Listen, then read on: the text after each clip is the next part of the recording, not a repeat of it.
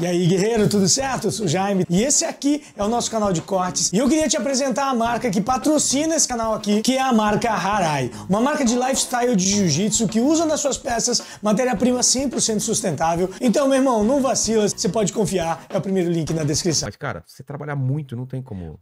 Meu pai falou, falou uma coisa parecida. Meu pai falou quando eu tava. Eu sou de Manaus, né? Mas quando a gente tava falando no começo. Fui pro Rio de Janeiro com 15 anos, acreditando Mas que. você não tem sotaque de Manaus mais, né? Tenho, pô. Você tem pai d'égua? sou- Não, mas Mas aí. rapaz. É, não, Mas é, rapaz, é, não, né? é, é, Como que é? é, Mas rapaz. É, Tu é lesa? égua, égua. Tu é leso, é? É é leso, é? É, tô ligado. Aí. Posso só te contar uma coisa? É, Pode, pode. No- no- eu tava no La Salle, Lá acho que eu tinha 16 anos. Primeiro dia de aula, tipo, moleque tímido, tô lá na sala, é, intervalo. Os moleques lá chegaram pra mim, e aí? E aí? É, é Vilela, né? Vilela, e aí, bora? A gente vai lá atrás da quadra. Aqui em São Paulo, isso aqui é, meter. É. É meter. Imagina, os caras chegando pra mim, e aí, Vilela, vamos? Eu falei, mano, o que que é isso? Os caras vão querer me comer, velho. Eu vou virar menino aqui, Manaus. Aí não, era jogar bola. Os caras jogavam bola no recreio, cara, no intervalo. Os caras pra mim, bora, Vilela, bora? Eu falei, Essa "Puta, os caras vão querer me comer. Essa foi sensacional. Mas desculpa, te cortei. Você contar de Manaus. Se quiser de Manaus. É isso, aí eu fui, cara. Aí quando eu fui para pro Rio de Janeiro com 15 anos, meu pai tinha loja. Ele falou: Olha, tu Você quer foi pra trabalhar? Eu fui pra seu pai? lutar. Ah, pra lutar? Eu Já fui tava pra isso na aprender cabeça. já era psicopata. Porque lá, lá em Manaus não tinha Que o jiu-jitsu não tinha tão, tão es- estabelecido, né? não, tão difundido, tão avançado como no Rio de É isso que eu Janeiro. queria saber, como você chegou até, até, até hoje. Você foi pro Rio de Janeiro Com, com a cabeça 15 anos. pra com treinar 15 com alguém ou não? Você ia procurar? Não, eu ia procurar. Tá. Eu sabia que era pra treinar Porque com os o centro, Gracies, né? Ah, você queria. É, lógico, que era Que era o, o top. PAN. Aí quando eu cheguei, cara, eu sempre digo que Deus sempre, porra, tem uma parada, uma força que tudo dá certo. Eu fui parar perto da academia do Carson Grace. Aí eu falando com as pessoas, "Ah, tem um, tem um Carson Grace ali, tem um Grace ali. Aí eu fui lá, uma parada muito interessante. Aí eu fui lá. Não, tem uma parada mais interessante. é O Bolão é um cara de Manaus que já tava lá. Aí eu Treinando encontrei, é, aí eu encontrei o Bolão na praia. Ele falou, porra, cara, eu queria ir lá na, na academia do Grace. Não sabia nem que era Carson Grace. Aí o Bolão, não, vai ali naquela outra que é melhor. Que Filha da do- mãe, é, não, que não. Ah. Ele queria que eu fosse uma outra academia só pra não ir outro cara de Manaus lá Entendi. treinar. Eu falei, filha da mãe tá de sacanagem, já era malandro, É. mesmo com 15 anos, já era malandro. Eu falei, não, vou lá no, Carson, lá no Grace mesmo. Aí fui lá e cheguei.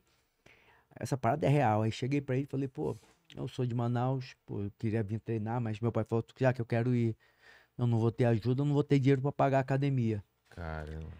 E ele virou pra mim e falou, tudo bem, eu vou deixar treinar duas vezes por semana. Aí, meu irmão, o primeiro dia que ele deixou eu treinar, eu não saí mais, né? Ficava o dia inteiro, aí já dormia na academia, ajudava a limpar a academia. Não tinha Porra, tempo ruim, não, cara. não, aí treinava o dia inteiro, aí foi crescendo, Aí né, o cara, irmão? o cara, cara gostou de você. Pô, virou meu pegou- segundo pai. O Pô, Carson, legal. o Carson Grace virou meu segundo pai. Tanto essa guerra que eu tinha contra o lado da família era sempre defendendo o nome do Carson Grace. Entendeu? Isso que é uma parada maneira. Não é um cara que era contra a família Grace. Eu defendia o Carson Grace. Por isso que quando começou esse negócio de, ah, negócio de. De, De coisa que aí foi muito pro lado do pessoal. Eu falei, ah, quer saber? Vai. Porque, porra, entendeu? No final é, é um grande negócio pra É. mim. Entendeu? Já ganhei. Então, aí Aí você Pô- tava treinando com ele, é, é, ele viu em você um... um- um- Cara, ele vê, tem até declarações dele. É. Ele falou, ele fala, pra- falou várias reportagens, ele nunca viu um cara com uma raça tão grande, com uma vontade tão grande. Ele dizia que eu tinha uma. Carson Grace dizia que eu tinha uma raça de cão pelado. Cara, Que se ele tivesse um exército com vários soldados como, como, eu, ele, não, ele não, teria medo, não teria medo de ir para guerra nenhuma. porque pra você ou era aquilo, era aquilo, né? Você não Não- tinha outra opção. Por isso que eu gosto dos lutadores que não tem plano B. É. O lutador, ele não pode ter plano B. Porque a vida do lutador é muito dura. É, porque se ele falar, ah, se não der certo, eu faço tal coisa. Ah, já vai- não vai dar certo. É. Uma vez aconteceu isso aqui em São Paulo. Eu tava em São Paulo. Aí o cara chegou pra mim e falou: Pô, Valide, eu queria lutar o Jungle Fight. Aí Eu falei: Tá bom. Vamos fazer o seguinte: manda o teu Sherdog. Sherdog é tipo cartel. É onde Que tem que- todas as lutas Ah, que o cara tá. já fez. Como Aí ele, Sher- Sherdog, Sherdog, é um site, é o primeiro site americano, entendeu? Aí ele falou, ele falou, tudo bem, mas, pô, vamos lá no meu restaurante hoje à noite, pô, a gente vai jantar, eu te mostro o restaurante, entendeu? Eu falei, pô, irmão, tem restaurante? Pô, então tu já tem plano B, cara, É. fica no teu plano B, deixa a galera que tá na guerra querendo realmente... Claro, cara. Aí ele, oh, mas não, mas eu queria, não, não, esquece. É, pra ele é uma coisa assim. É, se não, der, não. não deu. Então. O Django realmente para da guerra, é para quem realmente quer o tempo E faz ruim o né? tempo todo. Quando você vê um faz- moleque que tá focado só nisso, ele minha, faz co- por diferente. que que eu É, eu- é a comida do cara, né? Porque eu sou o maior descobridor de talentos da história do Brasil, modéstia à parte. Porque eu converso com os moleques. É. Todo mundo que vai no meu Instagram, eu falo quando. Pô, quer ver? Pode ir lá no meu Instagram, W-A-L-L-I-D-J-F-C, que é W-A-L-L-I-D-J-F-C. Os caras me mandam mensagem direto, eu falo, me manda teu cartel. Entendeu? Eu respondo todo mundo, falo com Pô, todo mundo, sabe? Aí as pessoas, pô, vai tu me responder. Eu falei, eu respondo todos os aliados. Porque eu digo, quem te segue, quem tá te vendo é teu aliado. É, Então tu tem que tratar ele bem. Tu tem que tratar todo mundo bem. Mas eu perdi um pouco o fio da meada. Aí, falando quando- do Cássio. é, quando você tava lá, cara, você falou que, que você não tinha grana pra pagar. E ele, porra, e ele deixou treinar de graça. Aí eu treinava o dia todo. Aí ele tinha um problema com o outro lado da família. Qual aí o eu- problema? Você ou ele? Ele, ele, o Ah, Cássio, ele mesmo. ele negócio de mesmo? herança. Putz, Aí eu falei uma vez pra ele, Cássio, não te preocupa que eu vou ganhar do outro lado da família toda. E ele? E ele, porra, ficou, tipo assim, ficou calado. E eu É. fui lá e ganhei mesmo, sempre representando o nome dele. Sou, sou- eu digo que eu sou Carson Grace Forever, ele já faleceu, mas levanto o nome dele até hoje, entendeu? Porque eu digo o seguinte: não tem gratidão sem lealdade. É, O leal é grato, o traidor é ingrato. concordo. cara. Entendeu? Eu sempre tenho essas letras. Quando fala, pô, Valide, pô, a gente gosta de você que ficou com o Carson. Eu, eu não fiquei, não. Eu sou Carson Grace até o último dia. O, Juninho, que é o filho ele. dele, o Carson Grace Júnior, pô, nós ganhamos uma faixa preta no mesmo dia. É Um mesmo? cara que é meu irmãozaço, pessoa da aula. eu- todo mundo pergunta, eu não dou aula, eu não trabalho dando aula. Quando eu parei de lutar, eu fui pro lado profissional. Eu fui produzir o Jungle Fight, fui ser manager. Aí, quando Mas- as pessoas vêm, Valide, pô, tu não vai dar aula, tu, pô, tu me dá o seminário. Eu falei, ó, quer aprender? Vai com Carson Grace Jr., Pô. que sabe tudo, entendeu? Então eu tenho isso, Mas nessa, cara. nessa época você, ganhava dinheiro como? Você tava só treinando ou você tinha um trampo? Cara, ganhar? eu fui o primeiro lutador, tu pode fazer um research, uma pesquisa, eu fui o primeiro lutador do mundo a viver da luta sem precisar da aula. Caramba! Primeiro, porque eu já botava, fui o primeiro cara a botar os patrocinadores no ombro. Tu vê Ah, a camisa do Jungle. Fight, já, pô, já, a Bad Boy, lembra da Bad Boy? Lembro, cara. Pô, fui Pô, patrocinado foi pela Tiguec, aí os caras chegavam pra mim uma vez, o cara do restaurante, que é meu camarada, Barra Grill. Pô, aí que minha mulher tá ligando o tempo todo. Pô, tô no meio da entrevista, muito importante? Não, tá bom, beijo, te amo. Pô, não, que ela ligou cinco É, vezes. Você vê que o cara tem medo da É, mulher, pô. cara. Tá certo. Esse cara sabe o É, valor da pô. vida. Não, o cara que briga com a mulher é o idiota. É o Ele vai idiota, brigar- é o idiota. Você vai- você vai brigar com a que- mulher, Que, cara. porra, bora do meu lado. Porra, que, que porra, é minha Ela, tem uma- parceira. ela, tem- não. ela sabe onde fica a faca na casa e Não, você tá e é- dormindo. Não, e é minha parceira. Pô, me ajuda Total, dos né? negócios todos. Pô, viu viajando, cara, vida de louco. É Por isso que eu pergunto, tá tudo bem? Ah, Tá tudo bem, então tá bom. Tá preocupado? Se tá ligando, de É, repente ligou, aconteceu pô, que ela coisa. né? sabe quando eu não, quando eu não atendo, que eu... É. Aí que eu tava falando do... Tava onde mesmo? Que Já me perdi o fio da Não, merda. que, que, que eu te falei se você tinha um teu trampo. o- Ah, é, quando eu fazia? profissionalmente. Aí o cara Então, chegou pra não mim... te cobrava em tua academia? cara? Não. Caramba. Que... Aí depois disso eu me pro- fui, tu falando, ah, tu nunca deu aula. Eu falei, não, eu fui o primeiro a me profissionalizar.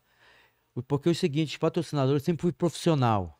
Que eu dizia, o amador, na palavra já fala, o amador, ele ama a dor. Se você é amador, você vai sofrer. Caramba. Todo Muito amador, é, todo amador que quer fazer tudo nas coxas, não quer fazer uma coisa direita, ele Vai sofre. sofrer. é. Entendeu? Pode chegar, mas vai demorar muito mais. Então eu sempre procurei ser profissional, cara. Eu sempre procurei ser um cara totalmente profissional. Tanto que a primeira, os primeiros patrocinadores tinha um barra grill. Na época, pô, vai, pode comer aí à vontade. Eu falei, pô, irmão, comer eu como em casa. Aqui eu, que- pô, queria um dinheiro. dinheiro, é. é. Aí o cara, tá bom. Não lembro quanto fosse hoje, quanto é. Eu lembro na época, dois mil dólares. Nós tínhamos que pagar dois mil dólares. Eu já. Aí a Tiguec, que era do Olivier, que é meu irmão até hoje, meu irmão Ah, até é? hoje. Irmão, os caras viram meu irmão, porque eu sou um cara que eu sou assim, eu tá todo mundo assim, irmão. Onde eu vou. Aí o Edu Olivier também Tiguec, aquela moda de baile, lembra? De? Baile, baile da, Sei, da, sei, da. Indonésia. Sei. E trazia roupa, e pô, começou a me dar uma grana, aí eu já fazia camiseta. Eu, lutador, eu já fazia camiseta tigueca, aquelas, pô, tenho várias frases maneiras que eu Sei, adoro. Pra colocar na camiseta. É, tempo ruim o tempo todo, que eu dizia que era tempo ruim o tempo todo pros meus adversários. Isso é muito bom, cara. terror e pânico, aí tinha um pitbull assim embaixo, terror e pânico. Isso aqui não é Disneyland, isso é junto com o Cássio. O Cássio falava muito isso. Isso aqui sabe, não é é, pros moleques que ia é, treinar? É, pô, imagina os moleques na época, eu vendia 3 mil camisetas na época, isso, porra, com Nossa! Pô, eu sempre gostei de negócio, porque meu pai, isso que eu ia falar do meu pai. Meu pai falou o seguinte quando eu vim pro Rio de, fui pro Rio de Janeiro, ele falou: "Cara, se tu for, que você, eu queria que tu tomasse conta das lojas, não quer da loja? Não quer um pai árabe? Então, tu tem que ser o melhor no que tu for fazer, mas saiba vender. Porque tu não souber É, não vender, adianta- é. tu- ninguém vai comprar, tu não vai poder viver, tu não vai poder ter Se uma você não vida entende boa. que você é um produto também, você... Cara, eu nunca esqueci disso na minha vida. Eu sempre me tratei como um produto. Eu sempre falava, eu sou uma firma. Entendeu? Valismo aí eu era uma firma. Aí fazia as camisetas, jiu-jitsu, um xadrez de corpo para pessoas inteligentes. Pô. Aí o Marcão da Bad Boy, Nair, não sei se tu lembra, pô, essa galera era, porra, Bad Boy era marca. Nossa, velho. Aí eu fui na Bad Boy, aí falou, vai, pode pegar a roupa que quiser. Eu falei, pô, Marcão, eu tenho roupa, irmão. Pô, eu queria uma grana, cara, que eu preciso viver, cara, preciso pagar os treinadores e tal. Ele falou, quanto tu quer? Eu lembro como se fosse hoje, irmão. Falei, 5 mil dólares. Falou, hoje, agora em diante tu é o, tu, tu é atleta da Bad Boy. Fiquei 12 anos na Bad Cara, Boy. que foda. 12 anos na Bad Boy. Era uma época, cara, que Bad Boy era a marca. Porra, não, A eu, pô, e eu, eu era cara da É. Bad Boy, irmão, modéstia à parte, porque eu sempre fui um cara muito. Eu nem sei, cara, como que eu evoluí tanto de lutador Pra pra, empresário. pra empresário, porque eu realmente.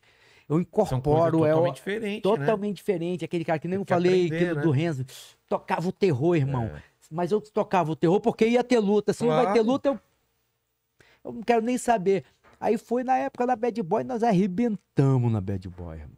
Pode falar, nós O cara ganhou muito dinheiro, né? O cara Não, vendeu eu muito. também ganhei, pô, É? meu irmão, porque é o seguinte, o negócio é bom quando é bom pra todo Claro. mundo. Você não pode ver, olha o cara... Não, mas eu tô falando que ele vendeu muito, né, cara? Pô, Eu lembro não, que era uma... arrebentou a É. Bad Boy, Acho porra. que o Frota também era... era... Era, o Frota era, velho, pô, o Frota Frota era meu aqui, camarada, é. teve aqui Você também. vai pra lá, treinou. No mesmo dia que eu ganhei do Royce, o Frota lutou, cara. Caramba. Pode falar, o Frota é o cara Frota maneiro, cara.